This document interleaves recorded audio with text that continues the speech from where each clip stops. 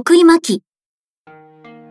昭和15年の創業以来、品質、性能を絶えず追求しながら、伝統に培われた技術を生かし製作された和包丁。日本が誇る職人の技が光る一品です。その切れ味は国内外からも高く評価されています。接客をする上で身につけるべきお客様に対しての接客用語を学習しましょう。何事も挨拶から始まります。それでは復唱してください。いらっしゃいませ。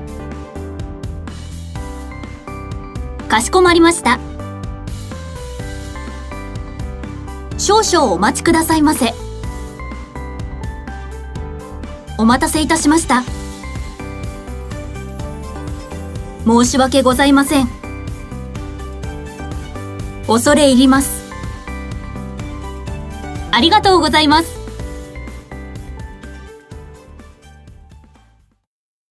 突然ですが問題です。リセット、スッキリ、スリム。これを聞いて思い浮かぶのは、わからない？じゃあこれは？何の話だったかは、マイラクさんで検索今日は、猫ちゃんのお誕生日。お友達のトラくんは、朝から準備で大忙し。あ白鳥さん家族がやってきたよ。白鳥さんたちは何羽いるかな？続いて、アヒルさん家族もやってきたね。あれれ？白鳥さん家族とアヒルさん家族。それぞれ何羽いるかわかるかな？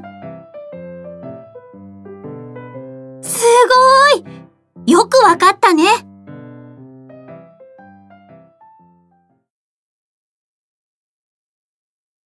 戦う君へ。ありがとう。ごめんなさい。行ってきます。お帰りなさい。当たり前にある日常であってほしい。